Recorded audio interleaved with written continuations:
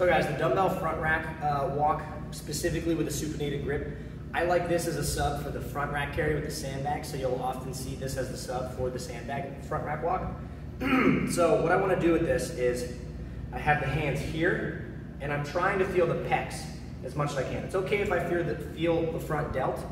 but as I go on a walk, right, I'm essentially, I'm here, I'm tucked, I'm bracing my core, the same muscles that I wanna feel in the sandbag carry, being, in this case, the chest, maybe some of the bicep, but I feel the core quite a bit, and I'm walking as I feel my pecs.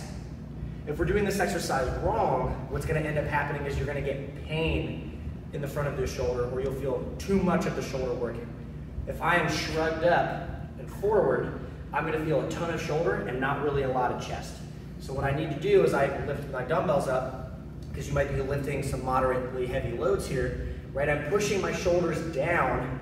to feel the teres, to feel the pecs, to feel the obliques and then I'm walking in this position. And the stronger I am, the more I'll be able to feel this with still some bicep as I walk or as I hold. And the key thing is I don't want to have my elbows down because again, my shoulders go up and they go forward, and I'm not really gonna feel my pecs as much, but I also don't have to be here,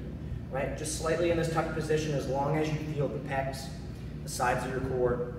meaning the oblique and the lower abdomen, and then a little bit of that teres and lat as well on the, on the uh, front rack walk with the dumbbells.